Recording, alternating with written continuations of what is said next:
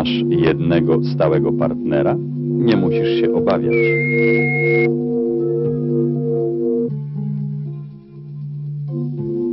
Stosujesz prezerwatywy? Nie musisz się obawiać.